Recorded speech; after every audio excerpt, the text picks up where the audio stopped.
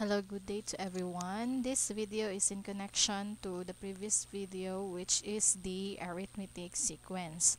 Now this we're going to tackle about finding the arithmetic means. So let's take a look at the example.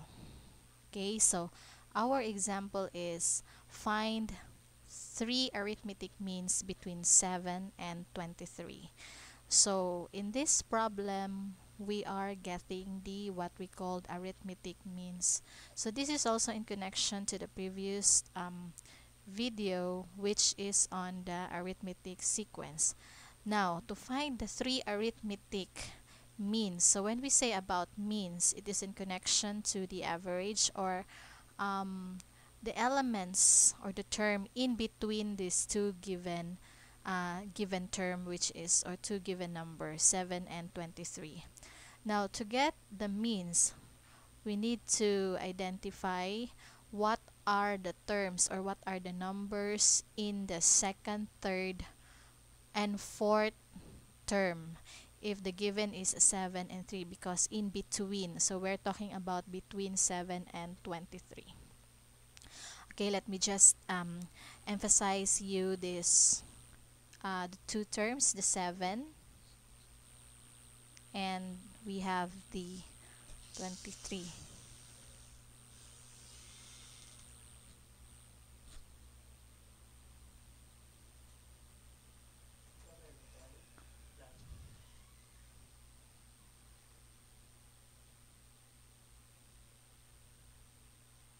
Okay, let's get the given.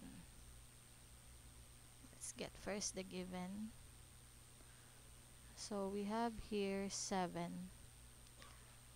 7 is the first term. And 23 is the last term. Or the fifth term. Or the a sub 5. So since the n is a sub 5, so we know that there are five elements in the sequence or in the set. So our first term here is 7.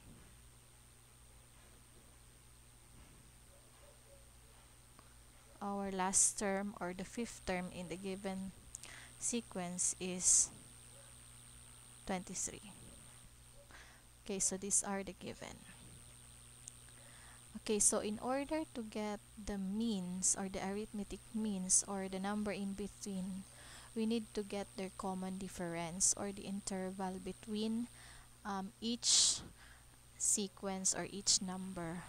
Now, in getting the difference or the common difference, there are two ways, but I want to show you the first way and then on the next video I will be giving you the other way or the other techniques in getting the common difference so that we can get the mean. So in getting the common difference, we will use the general term or the general formula for arithmetic sequence. Okay, so we have it an is equal to a sub 1 plus the quantity of n minus 1 times d. Now we notice that all given have values like n, a1, we have a1 or a sub 1 the first term and we have the last term except the one unknown which is the common difference which is useful in getting the arithmetic mean means or the next number. So we need we need to get the um, the common difference in order to find um, the arithmetic means. Okay this is one way of getting the difference. And I may give you another one on the next video on other technique. So we need just to substitute all the values. We have a sub 5 is 23 and our first term or a sub 1 is 7 plus the quantity of n minus 1 our n is 5 and then we have minus 1 and then we have our unknown here which is one unknown here which is the d now, in order to get the d, we need to evaluate this uh, equation. So, let's rewrite 23 and evaluate first. Work on the parenthesis first. Okay, add. So, we have um, 5 minus 1 is 4 times d is 4d. Okay, so uh, applying the equation, okay techniques and equation we need to transpose um, 7 on the other side and make it make the sign negative so transposition po so balik po tayo dun sa topic natin sa basic on equation so 23 minus 7 that would be equal to 4d so again okay again. So what we did in the 20 uh, in 7 is we need to transpose it to subtract both sides by uh, 7 so minus 7 here and then minus 7 it also. So 7 would be eliminated on the right side and um, negative 7 would also be um, applied on the right side. Okay so let's continue. So we have 23 minus 7 is 16 and then is equal to 4d so in order to eliminate a 4 uh, we need to apply an operation to both sides which is we divide it by 4 both sides. Okay so that 4 divided by 4 would be equal to 1 and 1 times d is equal to d so therefore we already have our value of d which is the which is 4 all right since since we already know that 4 is our d or or our common difference so we can now therefore say that uh, positive uh, positive 4 will be added to the first term so that we can get now the arithmetic means. Or we can do this uh, or we can do still this technique.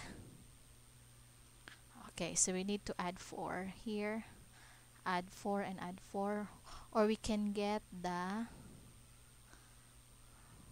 okay we can get the first uh, the third and the fourth term. Or we can just add by 4 now to make it sure I'm just going to show you um, using the uh, the general term or the general formula for the arithmetic sequence. Okay so we have it here.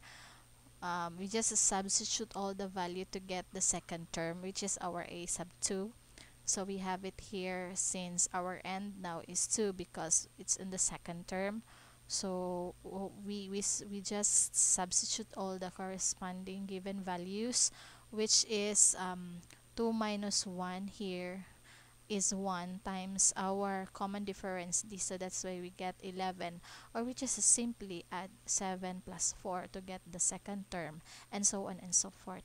Now let me show you the um, uh, just other way of getting it.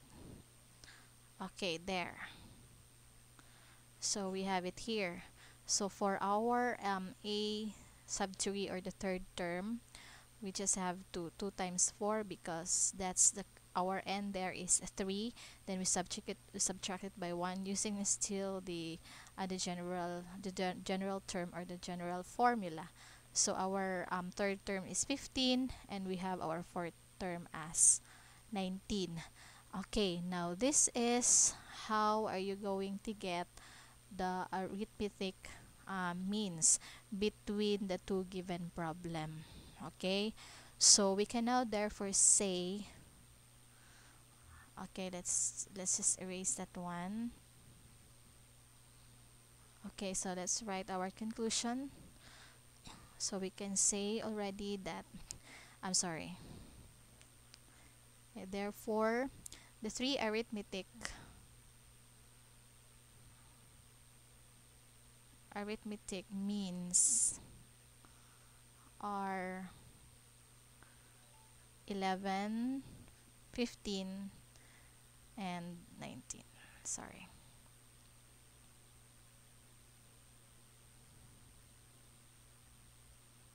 Okay so that would be our final answer. Okay okay thank you so much and we'll see you to the next video. Just remember that this is useful in um, the next lesson also or discussion that we will be having.